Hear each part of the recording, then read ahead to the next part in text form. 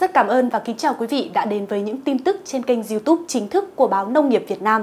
Chúng tôi luôn cập nhật những thông tin mới nhất, nóng nhất để gửi đến quý vị. Sau đây là nội dung chi tiết. Mời quý vị cùng theo dõi. Trong hai tháng qua, Nga đã dồn dập tấn công các vị trí kiên cố của Ukraine xung quanh Adivka, cách Donetsk, thành phố lớn nhất do Nga kiểm soát, ở miền đông Ukraine vài km về phía bắc. Kể từ đầu tháng 10 năm 2023, các lực lượng Nga đã tiến được hơn 1 km, nhưng các quan chức Anh cho rằng Moscow đã phải chịu tổn thất lớn. Hiện Nga đang dồn sức bao vây thị trấn Adipka từ nhiều hướng. Phát biểu với đài truyền hình Expresso, ông Vitaly Parabat, người đứng đầu chính quyền quân sự của Adipka do Ukraine bổ nhiệm nói rằng tình hình tại thị trấn ngày càng trở nên khó khăn hơn, cường độ các cuộc đụng độ đã gia tăng trong suốt thời gian dài, đối phương đang cố gắng tấn công từ mọi hướng. Theo ông Vitaly Barabak, các trận đánh chủ yếu tập trung tại những khu công nghiệp trong thị trấn. Còn người phát ngôn của quân đội Ukraine, ông Oleksandr Stupun, cho biết Nga đang tấn công Adipka từ 6 hướng. Các trận đánh chủ yếu diễn ra gần nhà máy than cốc Adipka ở phía đông bắc Adipka và khu công nghiệp phía đông nam thị trấn. Giao tranh ác liệt đã biến trung tâm khai thác than cũ thành đống đổ nát và không có một tòa nhà nào còn nguyên vẹn. Một số báo cáo lưu ý, bộ binh Nga được sự yểm trợ của xe tăng, pháo binh và các cuộc không kích đã đẩy lùi Ukraine ra khỏi gần 90% diện tích khu công nghiệp ở phía đông nam thị trấn. Còn tại khu công nghiệp phía Bắc, xung quanh nhà máy hóa chất và than cốc Adipka, Nga tiếp tục đe dọa cắt đứt nguồn cung cấp huyết mạch, vốn rất eo hẹp cho các lực lượng Ukraine trong khu vực. Các blogger của Nga cho biết quân đội nước này đã chiếm được toàn bộ nhà máy than cốc và một phần của tuyến đường sắt liền kề, gần như phá vỡ sự kiểm soát của Ukraine ở gần làng Stepove, xa hơn về phía Tây Bắc. Trong khi đó, các nguồn tin Ukraine khẳng định tình hình rất khó khăn, nhưng họ vẫn giữ vững được nhà máy. Nếu Nga củng cố được lợi thế thì các bước tiến của Moscow sẽ khiến hàng nghìn binh sĩ Ukraine bị mắc kẹt trong các chiến hào ở khắp trung tâm Adipka, dưới đáy của vùng địa hình có dạng phễu, rộng chưa đầy 15 km và đối mặt với nguy cơ bị bao vây nhưng các cơn bão mùa đông khắc nghiệt đang quét qua Ukraine có thể kìm hãm đà tấn công của Nga. Ukraine đã thiết lập được tuyến phòng thủ kiên cố tại Adipka sau gần một thập kỷ giao tranh, đầu tiên là trong cuộc xung đột tại Donbass, bắt đầu vào năm 2014, tiếp đến là cuộc xung đột với Nga từ tháng 2 năm 2022. Nếu để mất Adipka, thì đây sẽ là một đòn giáng mạnh mẽ vào tinh thần chiến đấu của quân đội Ukraine.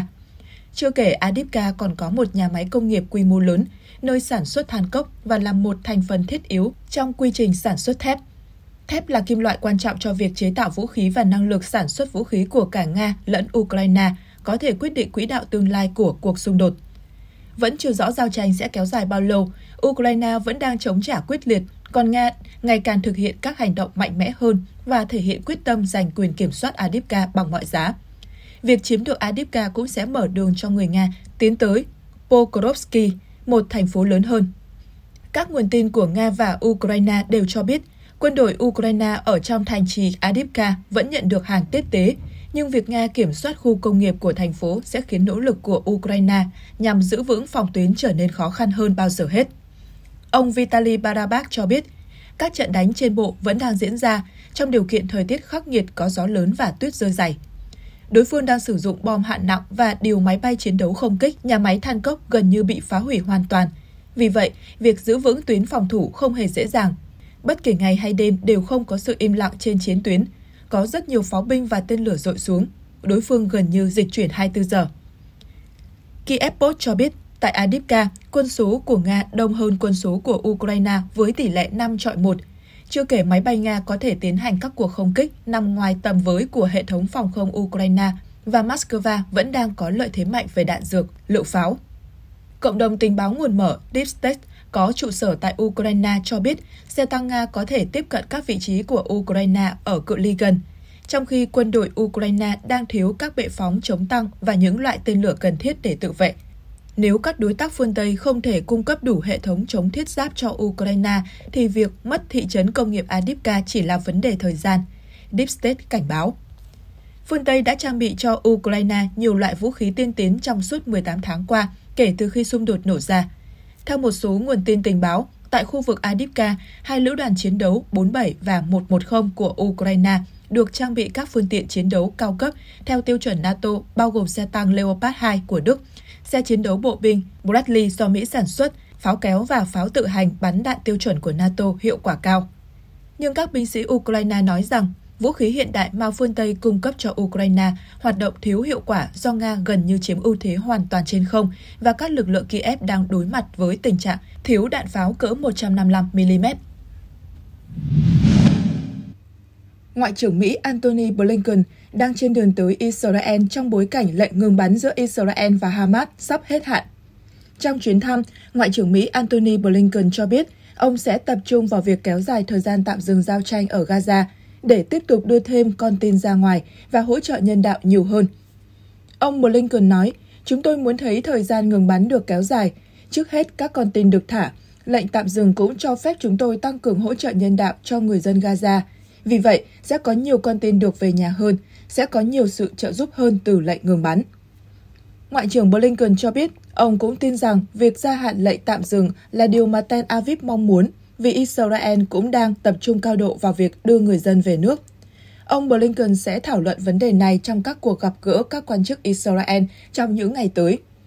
Ông Blinken cho biết thêm, chúng tôi sẽ thảo luận với Israel về cách nước này có thể đạt được mục tiêu, đảm bảo rằng các cuộc tấn công sẽ không bao giờ xảy ra, đồng thời duy trì và tăng cường hỗ trợ nhân đạo, cũng như giảm thiểu thêm đau khổ và thương vong cho thường dân Palestine. Hiện vẫn chưa có thỏa thuận ngừng bắn tiếp theo giữa Israel và Hamas.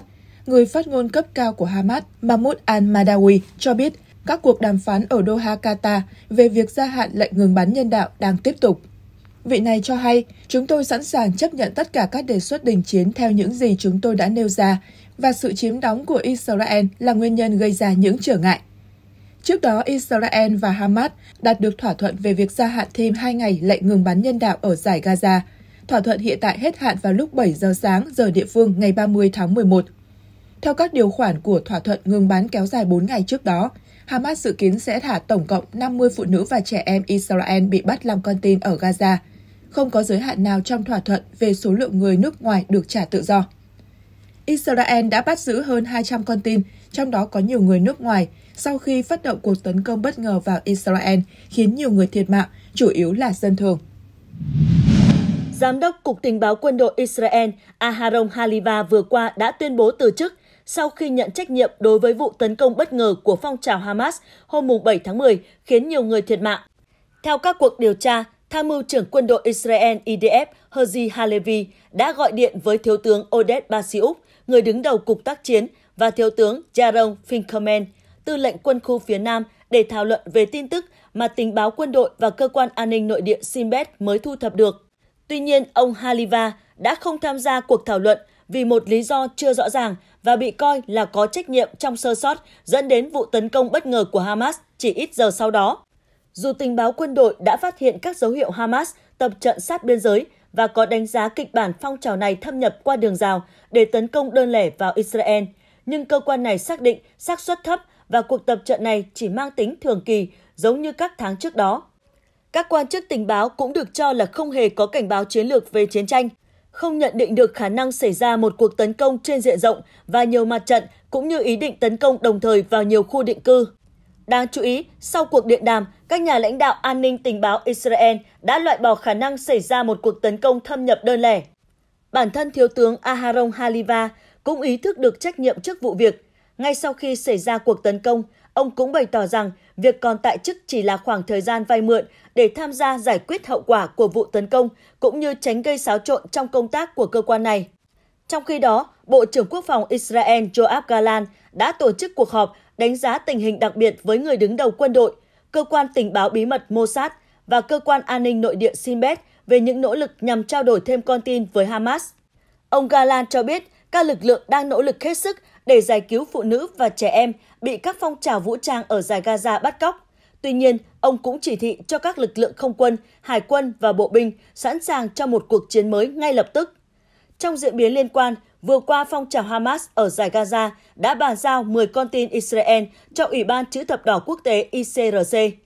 Đây là đợt trao đổi cuối cùng trong thỏa thuận gia hạn lệnh ngừng bắn thêm 2 ngày để thả thêm 20 con tin Israel lấy 60 tù nhân Palestine.